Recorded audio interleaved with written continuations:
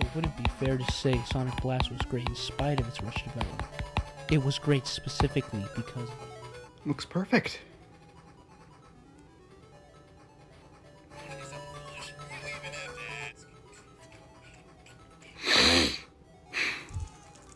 I want what they have.